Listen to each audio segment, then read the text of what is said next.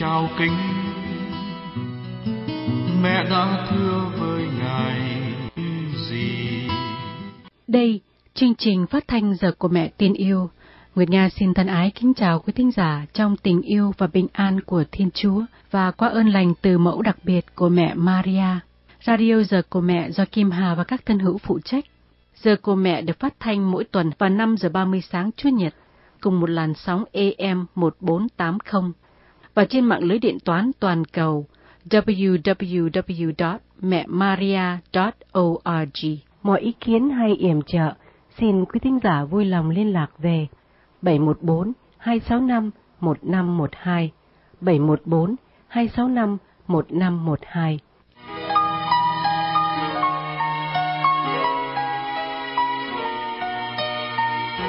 Kim Hà xin trân trọng kính chào quý vị thính giả thân thương trên toàn thế giới. Đây là chương trình radio giờ của mẹ phát thanh tại California, Hoa Kỳ.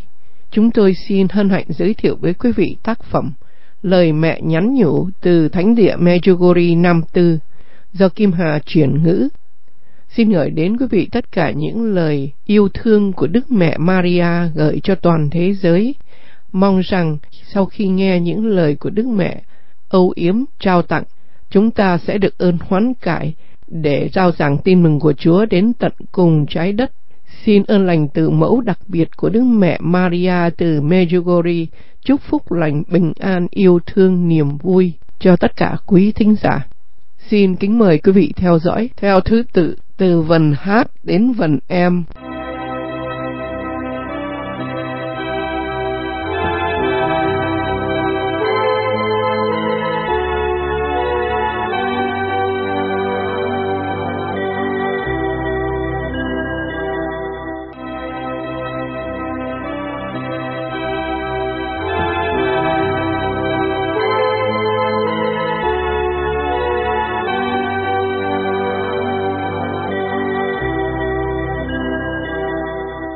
Kim Anh xin được gửi đến quý thính giả tác phẩm Lời Mẹ Nhắn Nhủ với vần hát tiếng Anh Holy Spirit, Chúa Thánh Linh. Các con hãy bắt đầu mỗi ngày bằng cách gọi Chúa Thánh Linh. Điều quan trọng nhất là cầu nguyện với Chúa Thánh Linh. Khi Chúa Thánh Linh ngự xuống trên trái đất, mọi sự sẽ trở nên rõ ràng và mọi sự sẽ được biến đổi. Thông điệp của mẹ năm 1983 Hãy để chính các con được hướng dẫn sâu xa bởi Chúa Thánh Linh. Như vậy công việc của các con sẽ trở nên tốt hơn. Đừng vội vã, hãy để chính mình các con được Chúa hướng dẫn và các con sẽ thấy mọi sự sẽ thành tựu dễ dàng và tốt hơn. Thông điệp của mẹ ngày 4 tháng 7 năm 1983 Điều quan trọng là hãy cầu nguyện với Chúa Thánh Linh để Ngài có thể ngự xuống trên các con. Khi ai có Chúa Thánh Linh là có tất cả. Thông điệp của mẹ ngày 21 tháng 10 năm 1983 Mẹ đã và đang kêu gọi các con hãy luôn cầu nguyện và cầu nguyện luôn mãi để Chúa Thánh Linh ngự xuống trên tất cả các con. Thông điệp của mẹ ngày mùng 2 tháng 1 năm 1984. Xin Chúa Thánh Linh canh tân tâm hồn các con và đổi mới trên toàn thế giới. Thông điệp của mẹ ngày mùng 5 tháng 3 năm 1984 Cầu nguyện với Chúa Thánh Linh để Ngài có thể soi sáng các con và các con sẽ biết tất cả những gì mà các con mong muốn. Thông điệp của mẹ ngày 26 tháng 5 năm 1984. Các con thân mến, tối nay mẹ muốn nói cho các con rằng trong tuần cửu nhật này, hãy cầu nguyện để xin ơn Chúa Thánh Linh đổ đầy ơn thánh của Ngài trên gia đình các con và trên giáo xứ. Hãy cầu nguyện và các con không hối tiếc rằng mình đã cầu nguyện. Thông điệp của mẹ ngày mùng 2 tháng 6 năm 1984. Điều quan trọng nhất trong đời sống thiêng liêng là xin Chúa ban các đặc sủng của Chúa Thánh Linh. Khi Chúa Thánh Linh đến, hòa bình sẽ được thiết lập, khi điều này xảy ra, mọi sự sẽ thay đổi chung quanh các con. Thông điệp của mẹ tháng 10 năm 1984 Chúa Thánh Linh muốn hiện diện trong các gia đình. Các con hãy để cho Ngài bước vào. Chúa Thánh Linh đến qua lời cầu nguyện. Đó là lý do tại sao. Hãy cầu nguyện và để cho Chúa Thánh Linh canh tân các con và canh tân các gia đình ngày nay. Thông điệp của mẹ ngày mùng 3 tháng 7 năm 1989 Các con thân mến, nay là thời kỳ ân huệ. Hãy mở rộng chính các con cho Chúa Thánh Linh, bởi vì Chúa Thánh Linh làm cho các con mạnh mẽ. Thông điệp của mẹ ngày mùng 1 tháng 6 năm 1990 Mẹ mời gọi các con hãy mở rộng chính mình cho Chúa bằng cách cầu nguyện để Chúa Thánh Linh có thể bắt đầu làm phép lạ nơi các con và qua các con. Do đó, hỡi các con nhỏ bé, hãy cầu nguyện, cầu nguyện, cầu nguyện và làm những gì Chúa Thánh Linh linh hứng cho các con làm. Thông điệp của mẹ ngày 25 tháng 5 năm 1993 Mong trái tim các con hãy chuẩn bị để lắng nghe, để sống những gì mà Chúa Thánh Linh có chương trình cho mỗi người các con. Hỡi các con nhỏ bé, hãy để Chúa Thánh Linh hướng dẫn các con trên con đường chân lý và cứu độ để hướng đến đời sống vĩnh cửu. Thông điệp của mẹ ngày 25 tháng 5 năm 1998 Hỡi các con nhỏ bé, hãy cầu nguyện để Chúa Thánh Linh có thể đến ngự nơi các con một cách tròn đầy. Rồi các con có thể làm chứng trong niềm vui cho những ai đang xa lạc đức tin. Hỡi các con nhỏ bé, hãy cầu nguyện để xin đặc sủng của Chúa Thánh Linh, rồi qua thần khí tình yêu mỗi ngày và trong mỗi tình huống, các con có thể sống gần hơn với đồng loại và các con có thể khắc phục mọi khó khăn trong sự khôn ngoan và tình yêu. Thông điệp của mẹ ngày 25 tháng 5 năm 2000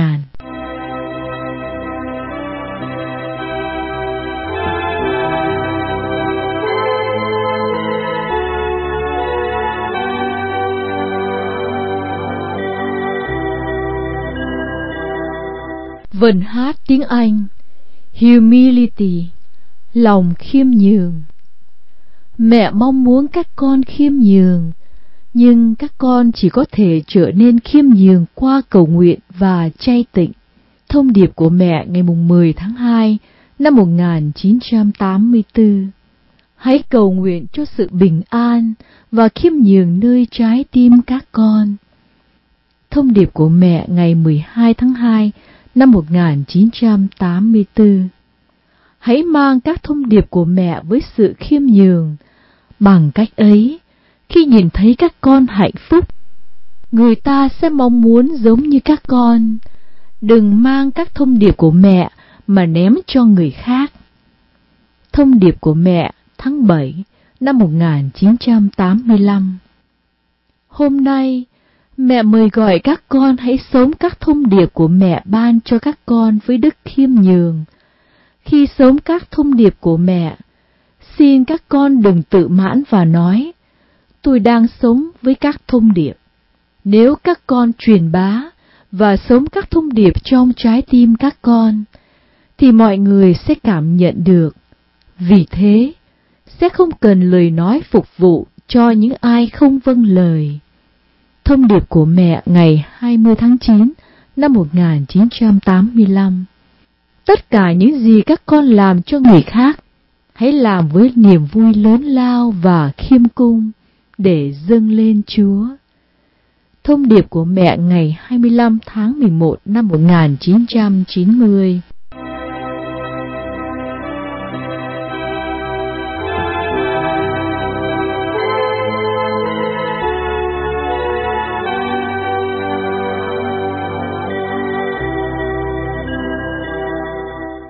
Vần y tiếng Anh, Intermediary, Trung gian chỉ có một đấng trung gian giữa Chúa và nhân loại. Đó là Chúa Giêsu Kitô.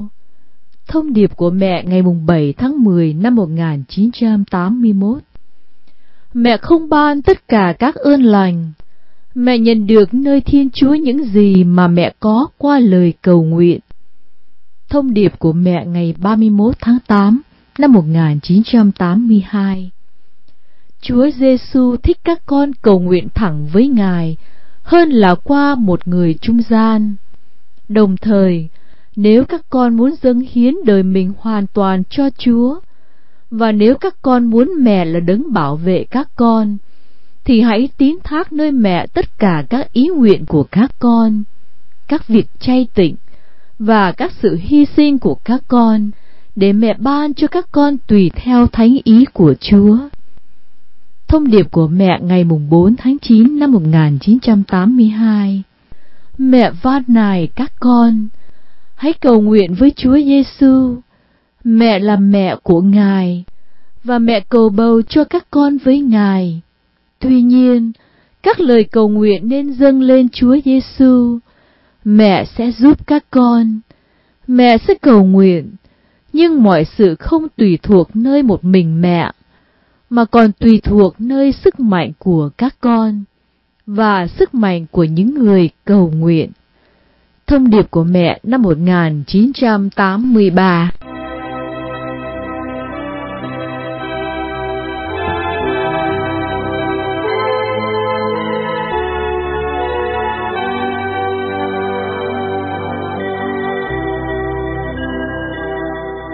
Vần chê tiếng Anh Jesus, Chúa Giêsu. Mẹ là mẹ của các con, mẹ đầy sự tốt lành, và Chúa Giêsu là người bạn cao cả của các con. Đừng sợ gì trước sự hiện diện của Ngài. Hãy dâng cho Ngài trái tim của các con. Từ đáy tim của các con. Hãy nói cho Ngài nghe về các nỗi đau khổ của các con. Rồi các con sẽ cầu nguyện mạnh mẽ trái tim các con sẽ được tự do và bình an, không còn lo sợ nữa. Thông điệp của mẹ ngày 29 tháng 11 năm 1983 Các con biết rõ là khi người bạn hỏi các con điều gì, thì các con trả lời cho người bạn ấy ngay. Các con hãy làm điều ấy với Chúa Giêsu khi các con cầu nguyện không ngừng và các con đến với Ngài dù còn mệt mỏi, Ngài sẽ ban cho các con những gì mà các con xin nơi Ngài. Thông điệp của mẹ ngày mùng 1 tháng 12 năm 1983 Làm sao các con lại không hạnh phúc? Chúa Giêsu ban chính Ngài cho các con mà. Thông điệp của mẹ ngày 14 tháng 4 năm 1984 Hãy giơ tay lên, mong mỏi Chúa Giêsu bởi vì khi Ngài phục sinh, Ngài muốn đổ đầy ân sủng của Ngài trên các con.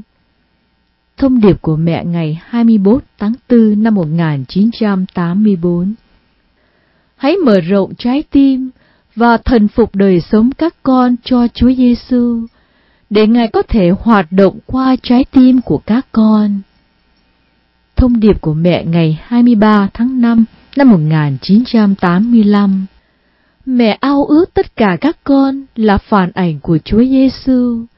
Như thế, các con sẽ soi sáng cho một thế giới bất trung đang đi trong bóng tối này.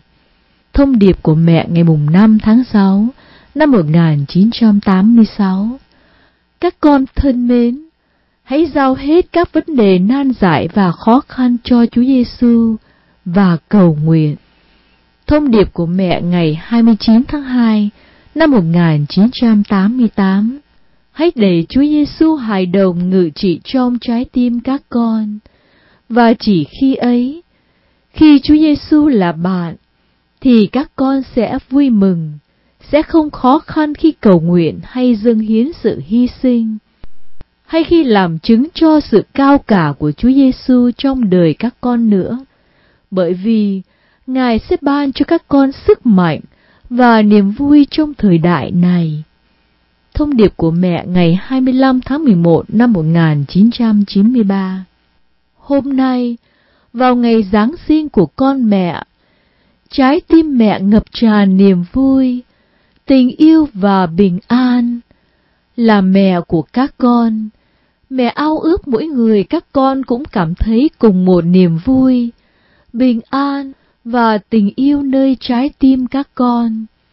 Đó là lý do tại sao đừng sợ khi mở trái tim và thần phục chính mình các con cho Chúa Giêsu, bởi vì chỉ bằng cách ấy, Ngài mới có thể đi vào trái tim các con và đổ đầy tình yêu, bình an và niềm vui.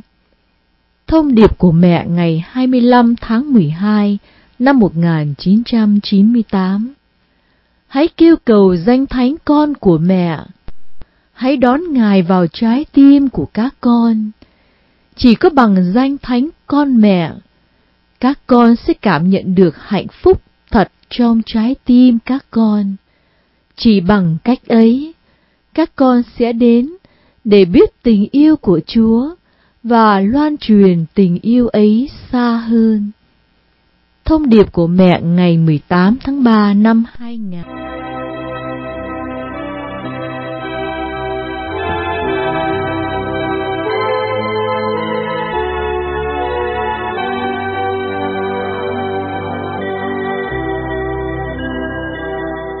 Joy, niềm vui. Các con nên tràn đầy niềm vui. Hôm nay, thứ sáu tuần thánh, Chúa Giêsu chết để cứu chùa các con. Ngài đã xuống hỏa ngục và mở cổng thiên đàng. Hãy để niềm vui ngự trị trong trái tim các con. Thông điệp của mẹ ngày 20 tháng 4 năm 1984 Mẹ chỉ mong muốn các con được hạnh phúc, được tràn đầy niềm vui, tràn đầy bình an và tuyên xưng niềm vui này.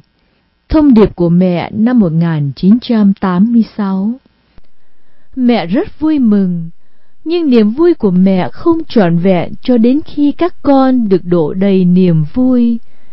Các con chưa được tràn đầy niềm vui, bởi vì các con chưa ở trong tình trạng hiểu được mức độ tình yêu bao la, vô bờ bến của mẹ. Thông điệp của mẹ tháng 10 năm 1986 Mẹ muốn mỗi người các con được hạnh phúc, nhưng trong tội lỗi, không ai có thể hạnh phúc được.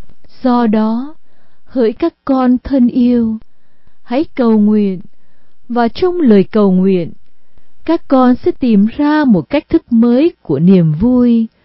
Niềm vui sẽ tồn tại trong trái tim của các con, và các con sẽ trở nên chứng nhân của niềm vui.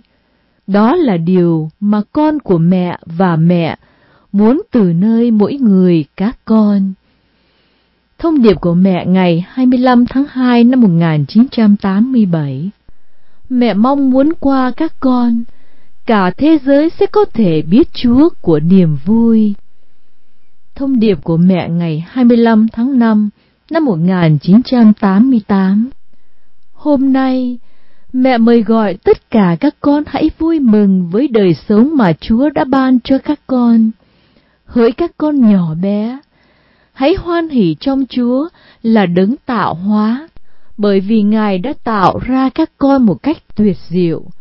Hãy cầu nguyện để đời sống các con trở nên một lời hân hoan tạ ơn, chảy ra từ trái tim của các con như một dòng sông của niềm vui.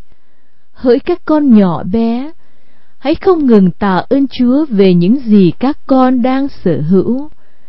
Tạ ơn Chúa về những ơn lành, dù nhỏ bé mà Chúa ban cho các con. Như thế, các hồng ân hoan lạc sẽ luôn được Chúa ban xuống trong cuộc sống của các con. Thông điệp của mẹ ngày 25 tháng 8 năm 1988 Các con thân mến, thời kỳ này là những ngày mừng vui. Hãy dâng cho mẹ tất cả những nỗi khó khăn của các con và hãy sớm trong niềm vui.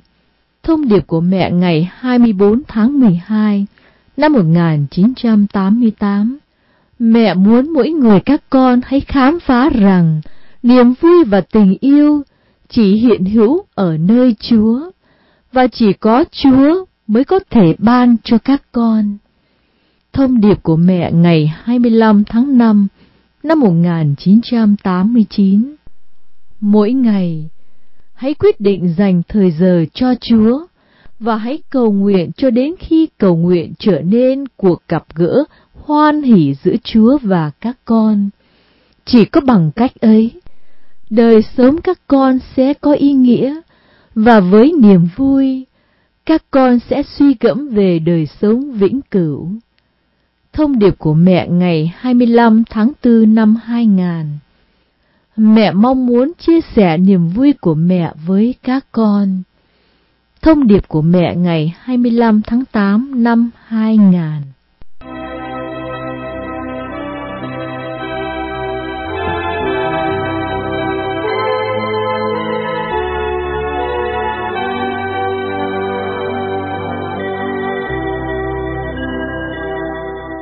Vần L tiếng Anh len Mùa chay Mùa chay này là một thời điểm đặc biệt cho các con để hoán cải. Hãy bắt đầu từ giây phút này, tắt máy truyền hình và từ bỏ những gì không có giá trị.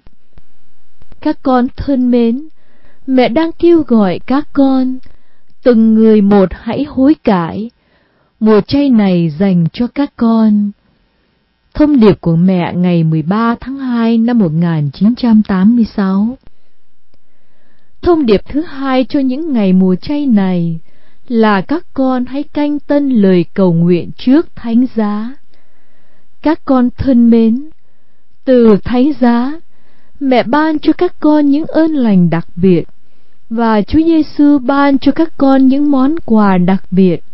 Hãy nhận lấy và sống hãy suy niệm cuộc khổ nạn của Chúa Giêsu và hãy hiệp thông với Chúa Giêsu trong đời sống của các con. Thông điệp của mẹ ngày 20 tháng 2 năm 1986 Hôm nay, mẹ kêu gọi các con hãy sống mùa chay này qua việc hy sinh. Cảm ơn các con về những sự hy sinh mà các con đã làm. Các con thân mến, hãy tiếp tục sống và với tình yêu, các con giúp mẹ dâng các hy sinh ấy lên, Chúa. Ngài sẽ thưởng công cho các con vì sự hy sinh của các con. Thông điệp của mẹ ngày 13 tháng 3 năm 1986 Cảm ơn các con về những gì các con đã từ bỏ trong mùa chay. Quan trọng nhất là hãy từ bỏ tội lỗi. Hãy là ánh sáng soi đường cho kẻ khác hãy khuyến khích người khác cầu nguyện, ăn chay và sám hối. Hãy ban tình yêu cho người khác.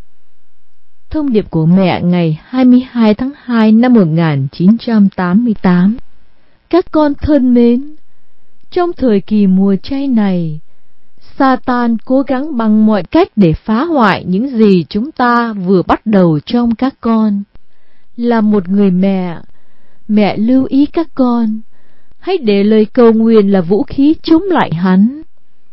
Thông điệp của mẹ ngày 14 tháng 3 năm 1988 Các con thân mến, hãy nhớ bốn điều các con phải làm trong mùa chay. Tối nay, khi các con về nhà, mẹ xin các con hãy cảm tạ Chúa trước cây thánh giá về những gì mà con đã cảm thấy con cần phải tạ ơn Chúa. Cảm tạ Chúa Giêsu về những gì các con muốn. Con của mẹ sẽ nghe lời các con.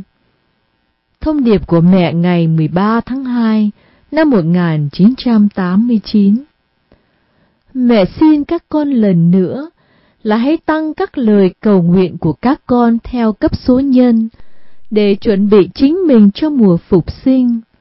Cũng thế, hãy đọc kinh thánh, đặc biệt là những đoạn nói về cuộc khổ nạn của Chúa Giêsu. Hãy chuẩn bị chính các con để nhìn tận mắt Chúa Giêsu. Tối nay, khi các con về nhà, hãy cầu nguyện trước cây thánh giá để cảm tạ Chúa về những hồng ân mà các con đã nhận được. Thông điệp của mẹ ngày 17 tháng 3 năm 1989 Lạy ánh sáng trong cuộc sống Các con đã kinh nghiệm ánh sáng và bóng tối Chúa ban cho mọi người có khả năng phân biệt điều tốt và điều xấu Mẹ kêu gọi các con hãy đến với ánh sáng và mang ánh sáng cho tất cả những ai đang ở trong bóng tối. Những người ở trong bóng tối đến nhà các con mỗi ngày. Các con thân mến, hãy cho họ ánh sáng. Thông điệp của mẹ ngày 14 tháng 3 năm 1985 Ánh sáng sẽ không ngự trị trên thế giới cho đến khi người ta chấp nhận Chúa Giêsu, cho đến khi người ta sống theo lời Ngài. Đó là lời trong Kinh Thánh. Thông điệp của mẹ ngày 30 tháng 7 năm 1987 Các con thân mến, hãy là ánh sáng chiếu soi. Thông điệp của mẹ ngày 12 tháng 8 năm 1988 Qua các con, Mẹ muốn canh tân thế giới. Các con thân mến, các con hãy hiểu rằng, ngày nay các con là muối đất và là ánh sáng thế giới. Thông điệp của mẹ ngày 25 tháng 10 năm 1996 Hãy là ánh sáng và chiếu soi các linh hồn đang bị bóng tối ngự trị. Thông điệp của mẹ ngày mùng 2 tháng 3 năm 1997. Hãy đẩy lùi bóng tối ra khỏi trái tim các con và cho phép ánh sáng của tình yêu Chúa ngự vào trái tim các con để sống ở đó mãi mãi. Hãy trở nên người mang ánh sáng và tình yêu Chúa cho tất cả nhân loại, để rồi tất cả mọi người có thể cảm thấy và kinh nghiệm nơi các con và qua các con, ánh sáng thật và tình yêu mà chỉ có Chúa có thể ban phát. Thông điệp của mẹ ngày 25 tháng 12 năm 1999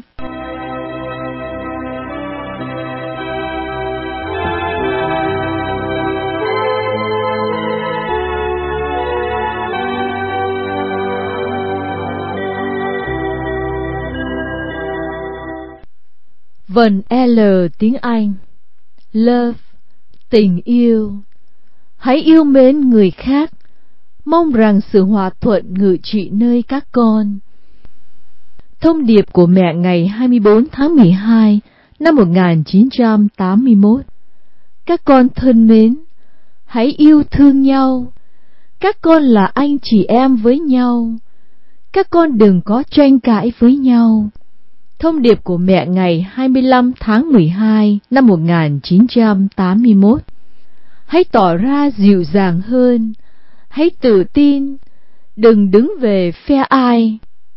Hãy đồng ý với nhau, tỏ ra đàng hoàng và ngoan đạo. Thông điệp của mẹ ngày 12 tháng 2 năm 1982 Hãy yêu kẻ thù của các con, hãy loại trừ sự ganh ghét, cay đắng, phán xét, thành kiến ra khỏi trái tim các con. Hãy cầu nguyện cho kẻ thù và xin Chúa ban ơn lành cho họ. Thông điệp của mẹ ngày 16 tháng 6 năm 1983 Mẹ mong ước khắc ghi dấu hiệu tình yêu trên mỗi trái tim các con. Nếu các con yêu tất cả nhân loại, thì sẽ có sự bình an nơi các con. Thông điệp của mẹ ngày 18 tháng 1 năm 1984 Hãy yêu mọi người trên trái đất này, giống như các con yêu chính mình. Thông điệp của mẹ ngày 28 tháng 2 năm 1984 Tình yêu là một món quà từ Chúa đến. Do đó, hãy cầu nguyện để Chúa có thể ban cho các con món quà tình yêu Thông điệp của mẹ ngày 28 tháng 5 năm 1984 Mong rằng tình yêu của Chúa mãi mãi ở trong các con. Bởi vì nếu không có tình yêu Chúa Các con không thể hoán cải trọn vẹn được. Thông điệp của mẹ ngày mùng 1 tháng 6 năm 1984 Các con thân mến, các con cần tình yêu. Thông điệp của mẹ ngày mùng 8 tháng 6 năm 1984 Nếu các con biết mẹ yêu các con nhiều như thế nào, thì các con sẽ khóc vì vui sướng. Thông điệp của mẹ ngày 21 tháng 6 năm 1984 Các con thân mến, qua tình yêu, các con sẽ thành tựu mọi sự, ngay cả khi các con nghĩ rằng không thể được. Thông điệp của mẹ ngày 28 tháng 2 năm 1985 Các con hãy làm mọi sự vì tình yêu, hãy chấp nhận sự quấy rầy, khó khăn và hết mọi điều với tình yêu. Hãy dâng hiến chính mình con cho tình yêu. Thông điệp của mẹ ngày mùng 9 tháng 3 năm 1985 Mẹ đẹp vì mẹ yêu. Nếu các con muốn đẹp, hãy thương yêu. Thông điệp của mẹ ngày 25 tháng 3 năm 1985 Hãy luôn có tình yêu Chúa trong các con, bởi vì không có tình yêu Chúa, các con không thể hoán cải trọn vẹn. Thông điệp của mẹ ngày mùng 1 tháng 6 năm 1985 Mẹ kêu gọi các con hãy yêu người khác và yêu những ai đem sự giữ đến cho các con. Bằng cách ấy, các con sẽ có thể phân biệt động lực của trái tim. Thông điệp của mẹ ngày mùng 7 tháng 11 năm 1985 Hãy cầu nguyện để vương quốc của tình yêu có thể đến trên toàn thế giới. Nhân loại sẽ hạnh phúc nếu có tình yêu ngự trị. Thông điệp của mẹ ngày 25 tháng 3 năm 1986 Các con thân mến, nếu không có tình yêu, các con không thể làm được gì cả. Thông điệp của mẹ ngày 29 tháng 5 năm 1986 Nếu các con không yêu thương, các con không thể chuyển giao chứng từ, các con không thể làm chứng cho mẹ hay cho Chúa Giêsu. Thông điệp của mẹ ngày mùng 6 tháng 6 năm 1986 Do đó, hãy chiến thắng mọi tội lỗi qua tình yêu. Với tình yêu, các con sẽ vượt thắng mọi khó khăn. Thông điệp của mẹ ngày mùng 10 tháng 7 năm 1986 Hận thù sinh ra chia rẽ và ghen ghét không tôn trọng bất cứ ai hay bất cứ sự gì. Mẹ kêu gọi các con luôn mang sự hòa hợp và bình an. Hỡi các con, đặc biệt ở nơi các con sống, hãy hành động với tình yêu. Hãy để khí cụ duy nhất của các con luôn là tình yêu. Với tình yêu mọi sự sẽ trở nên tốt. Thông điệp của mẹ ngày 31 tháng 7 năm 1986 các con biết rằng mẹ yêu các con và mẹ đang nung đốt tình yêu nơi các con do đó hỡi các con hãy quyết định yêu thương để rồi các con sẽ mong ước và cảm nghiệm tình yêu của Chúa hàng ngày. Các con thân mến, hãy quyết định yêu thương để tình yêu thể hiện nơi các con, nhưng không phải tình yêu loài người, nhưng là tình yêu Thiên Chúa. Thông điệp của mẹ ngày 20 tháng 11 năm 1986 Nếu các con yêu thương từ tận cùng trái tim, các con sẽ nhận được nhiều. Nếu các con hận thù, các con sẽ mất nhiều. Các con thân mến, tình yêu làm được nhiều điều cao cả. Càng có nhiều tình yêu trong các con, thì các con càng có thể yêu những người chung quanh các con. Đó là lý do tại sao hãy cầu nguyện liên lỉ lên Chúa Giêsu để Ngài đổ tràn tình yêu vào trái tim các con. Thông điệp của mẹ ngày 12 tháng 4 năm 1987 Các con thân mến, Mẹ muốn các con sống mỗi ngày mới với tình yêu và bình an. Mẹ muốn các con trở nên người chuyên trở sự bình an và tình yêu. Thông điệp của mẹ ngày 11 tháng 7 năm 1987 Hãy yêu thương các anh em người Serbian, chính thống giáo và Hồi giáo. Các người vô thần đang bách hại các con. Trên hết, mẹ muốn các con dâng lời cầu nguyện cho những người con của mẹ, nhưng không biết tình yêu của mẹ và tình yêu của con mẹ. Hãy giúp họ đến để biết tình yêu đó. Thông điệp của mẹ năm 1987 Hãy cầu nguyện, bởi vì trong lời cầu nguyện, mỗi người các con sẽ có thể cảm nhận được tình yêu trọn vẹn. Thông điệp của mẹ ngày 25 tháng 10 năm 1987 Hôm nay, mẹ kêu gọi các con hãy có tình yêu trung thành làm vui lòng Chúa. Hỡi các con nhỏ bé, tình yêu chịu đựng mọi sự cay đắng và khó khăn để dâng lên Chúa Giêsu, vì Ngài là tình yêu. Do đó, hỡi các con thân mến, hãy cầu nguyện để Chúa đến giúp đỡ các con. Tuy nhiên, đừng cầu nguyện theo ý riêng của các con, nhưng theo tình yêu của Chúa. Thông điệp của mẹ ngày 25 tháng 6 năm 1988 Mẹ muốn ban cho các con tình yêu, để rồi các con mang tình yêu này mà tỏa rộng đến những người khác. Thông điệp của mẹ ngày 17 tháng 10 năm 1988 Mẹ mong muốn rằng chọn cuộc sống của các con là tình yêu, chỉ có tình yêu thôi. Mọi sự các con làm, hãy làm vì tình yêu.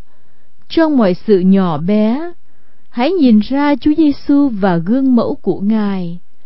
Hãy làm như Chúa Giêsu đã làm. Ngài chết vì tình yêu cho các con. Vậy các con cũng phải dâng hiến tất cả những gì mình làm với tình yêu dành cho Chúa, ngay cả với những việc nhỏ nhất trong đời sống hàng ngày. Thông điệp của mẹ ngày 30 tháng 11 năm 1988 Các con thân mến, mẹ muốn các con hãy làm chứng cho sự hiện diện của mẹ với tình yêu. Thông điệp của mẹ ngày 26 tháng 11 năm 1990 Mẹ muốn kéo các con lại gần với Chúa Giêsu và thánh tâm bị thương tích của Ngài, để rồi các con có thể hiểu được tình yêu vô biên mà Chúa đã ban cho từng người một. Vì thế hỡi các con, hãy cầu nguyện để suối nguồn tình yêu chảy từ trái tim các con đến mọi người, kể cả những người ghét và khinh bỉ các con. Bằng cách ấy, qua tình yêu của Chúa Giêsu, các con có thể khắc phục tất cả nỗi thống khổ của thế giới bi thương này, nơi không có niềm hy vọng cho những ai không biết Chúa Giêsu. Thông điệp của mẹ ngày 25 tháng 11 năm 1991 Mẹ muốn các con đánh thức tình yêu nơi gia đình các con, để tình yêu sẽ ngự trị nơi nào không yên ổn và đầy sự hận thù.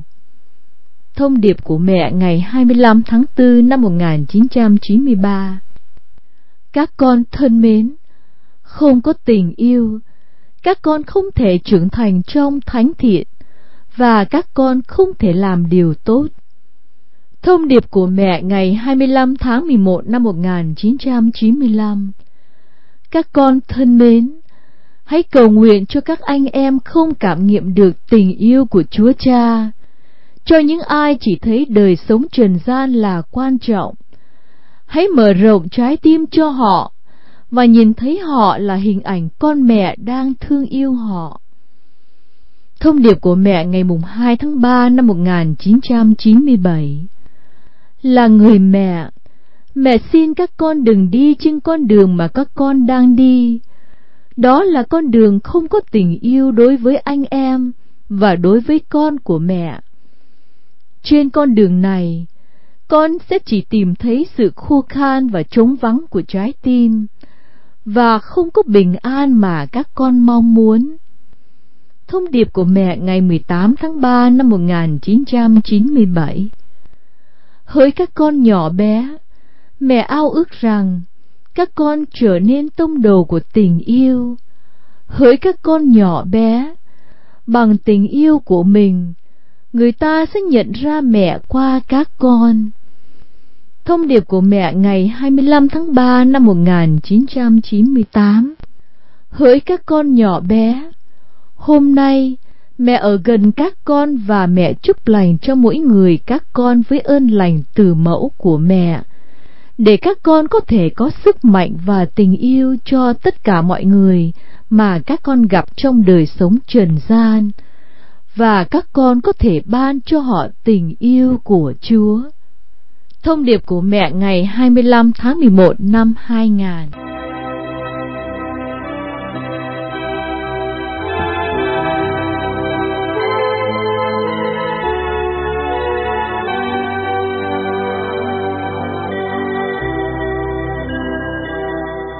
Vân M tiếng Anh, Mass Thánh lễ Hãy lắng nghe chăm chú trong thánh lễ.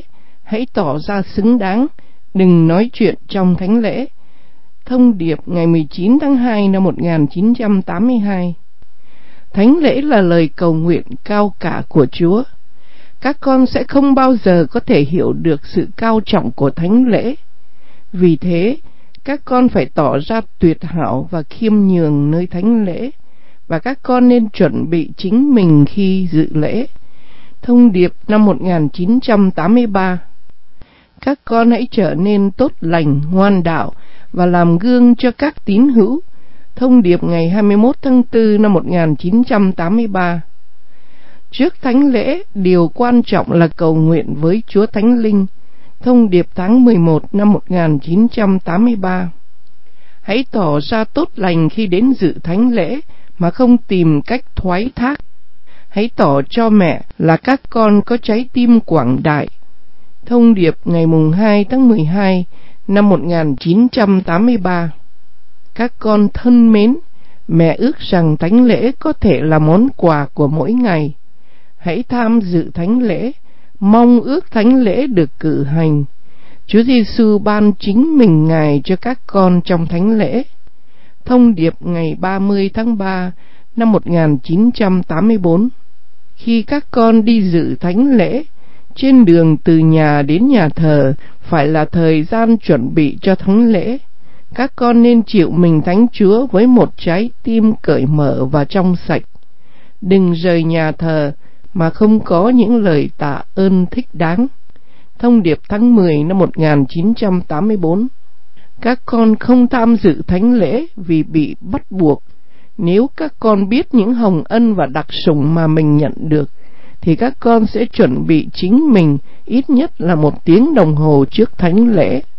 Thông điệp năm 1985 Mẹ kêu gọi các con hãy cầu nguyện tích cực và tham dự thánh lễ Mẹ mong rằng thánh lễ mà các con dự là một cảm nghiệm về Chúa. Thông điệp ngày 16 tháng 5 năm 1985 các con thân mến, hãy nên cố gắng nhận mình chìm sâu trong thánh lễ. Thông điệp ngày 1 tháng 6 năm 1985 Hãy đến tham dự thánh lễ bởi vì đây là một mùa được ban cho các con. Các con thân mến, có những người đến dự thánh lễ thường xuyên, dù khí hậu xấu, họ đến với thánh lễ bởi vì họ yêu mẹ và họ muốn tỏ tình yêu của họ một cách đặc biệt. Điều mẹ muốn nơi các con là hãy tỏ cho mẹ tình yêu của các con bằng cách tham dự thánh lễ và Thiên Chúa sẽ tưởng thưởng dồi dào cho các con. Thông điệp ngày 21 tháng 11 năm 1985 có nhiều người trong các con đã cảm nhận được sự đẹp đẽ của thánh lễ, nhưng cũng có những người đến một cách bắt buộc.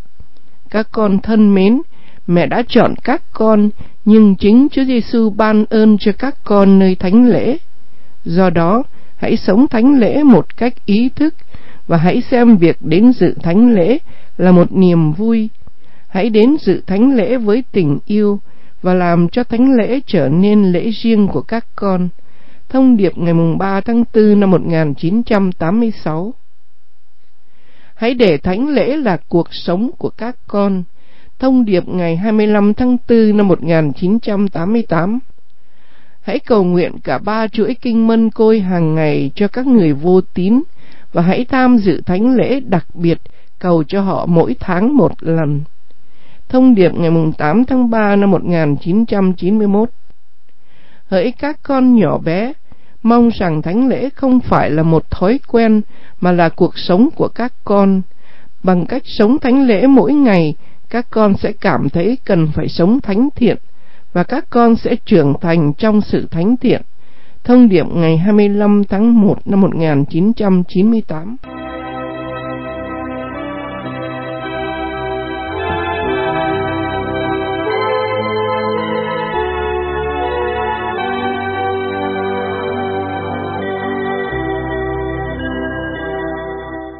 Vần Emma Materialism Chủ nghĩa vật chất Các con đừng quan tâm quá nhiều về vật chất của thế gian này nhưng hãy phó thác tất cả trong lời cầu nguyện dâng lên Thiên Chúa Cha.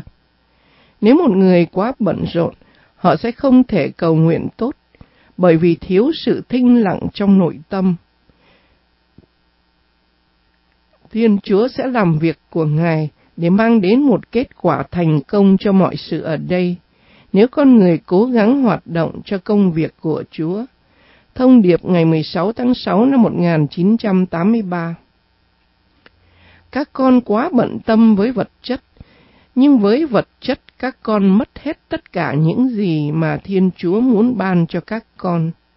Hỡi các con thân mến, mẹ kêu gọi các con hãy cầu nguyện để xin các đặc sủng của Chúa Thánh Linh, vì đó là điều cần thiết để các con có thể làm chứng cho sự hiện diện của mẹ ở đây và cho những gì mà mẹ đang ban cho các con. Các con thân mến, hãy đầu phục mẹ để mẹ có thể hướng dẫn các con một cách hoàn toàn. Đừng quá quyến luyến vật chất. Thông điệp ngày 17 tháng 4 năm 1986 Hãy cầu nguyện bởi vì các con đang sống giữa sự cám dỗ và nguy hiểm lớn lao. Vì thế gian và vật chất dẫn các con đến sự nô lệ. Satan đang tích cực hoạt động trong chương trình này Thông điệp ngày 25 tháng 6 năm 1989 Trong thời gian này, qua tinh thần tiêu thụ, con người quên đi ý nghĩa của tình yêu và không biết quý trọng các giá trị. Mẹ mời gọi các con lần nữa, hỡi các con nhỏ bé, hãy đặt Chúa trên hết mọi sự trong đời con. Đừng để Satan mê hoặc các con qua vật chất. Hỡi các con nhỏ bé, hãy quyết định cho Chúa vì Ngài là sự tự do và tình yêu. Thông điệp ngày 25 tháng 3 năm 1996 Mẹ mời gọi các con hãy suy gẫm về tương lai của mình. Các con đang sáng tạo một thế giới mới mà không có Thiên Chúa, nhưng chỉ có sức mạnh riêng của các con. Đó là lý do tại sao các con không thỏa mãn và không có niềm vui trong trái tim đây là thời gian của mẹ, và do đó hỡi các con nhỏ bé, mẹ lại mời gọi các con hãy cầu nguyện. Khi các con tìm được sự hiệp nhất với Chúa, các con sẽ cảm thấy vương quốc Thiên Chúa. Hỡi các con nhỏ bé ơi, trái tim các con sẽ rào rạt niềm vui. Thông điệp ngày 25 tháng 1 năm 1997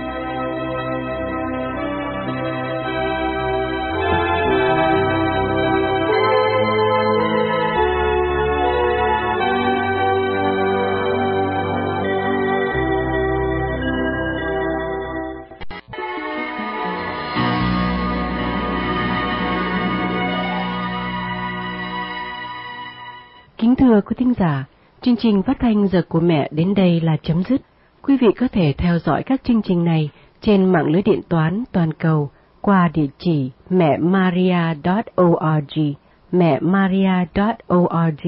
Mọi ý kiến hay yểm trợ, xin quý thính giả vui lòng liên lạc về 714 265 1512, 714 265 1512.